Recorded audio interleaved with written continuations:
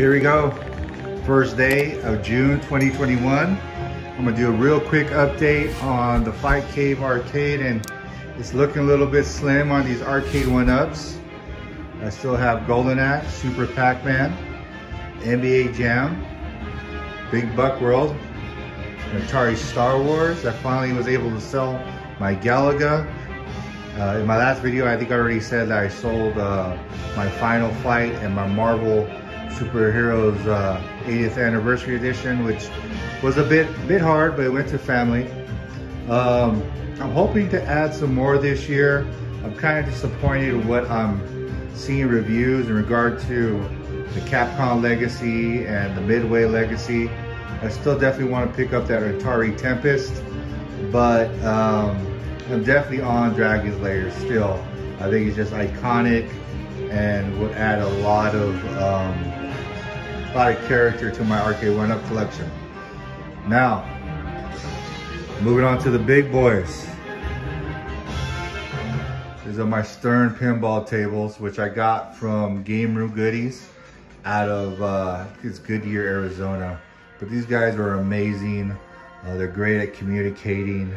And if I had to pick somebody, especially on the West Coast, because they're probably going to be able to get your machines to you earlier if they're in stock. I would definitely go with Game Room Goodies.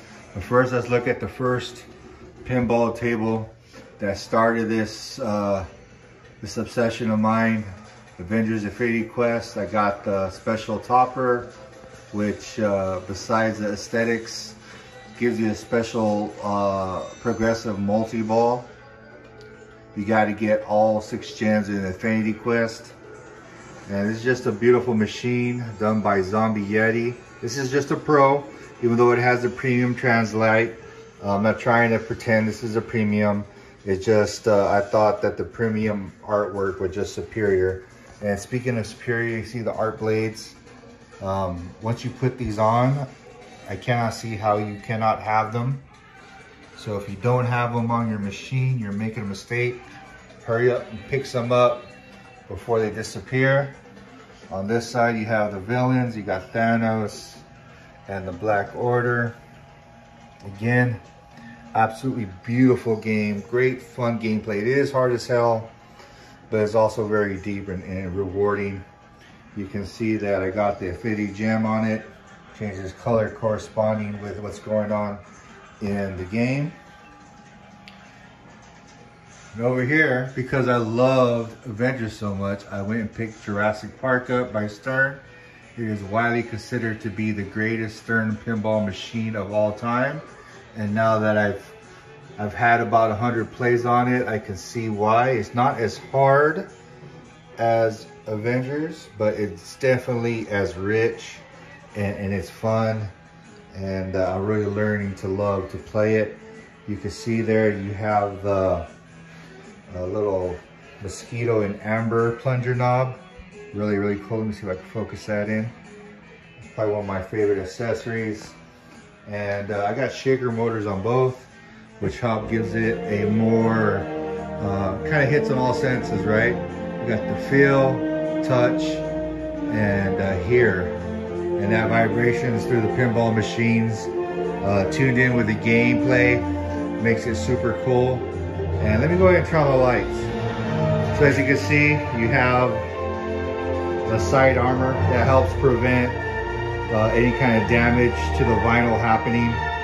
And a lot of people knock this machine for its art. I have no issues with it. I love it. I think it looks pretty damn cool.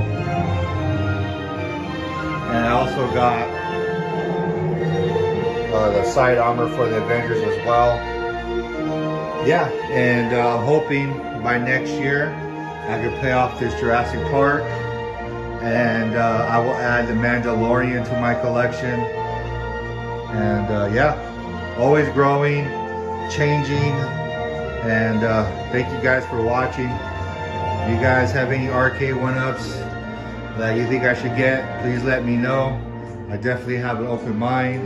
I'm not really, not really interested in anything that came out of E3. I'm kind of still stuck on Tempest and Dragon's Lair, but um, I'm a little disappointed in the issues. uh, with the with the Midway and Capcom Legacy. I kind of feel in this stage of a game, uh, you shouldn't be making those little kind of mistakes. So you gotta hold these guys accountable. Don't buy their stuff if you're not happy with it. And that's the only way they're gonna change. So thank you guys for watching. Until next time.